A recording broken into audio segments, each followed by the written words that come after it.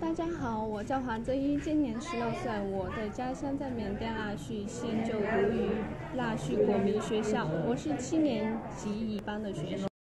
今天我要朗诵的是《伤仲永》，作者王安石。今夕明，方仲永，是立根。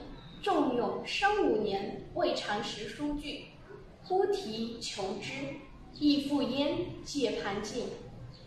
于之及书诗四句，并自为其名。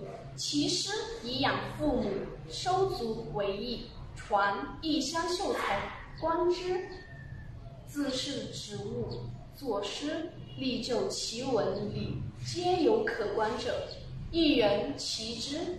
稍稍宾客其父，或以钱币其之，复立其然也。曰：日攀仲永，于一人不识学。余闻也久，明道中，从先人还家，于旧家，见之十二三矣。令作诗，不能称前识之。闻又七年。还自扬州，复到旧家，问焉，曰：“泯然众人矣。”王子曰：“仲永之通物，受之天也。其受之天也，贤于才人远矣。如之为众人，则其受于人者不至也。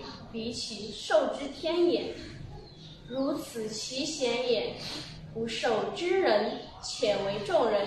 今夫不受之天。”故众人又不受之人，得为众人而已也。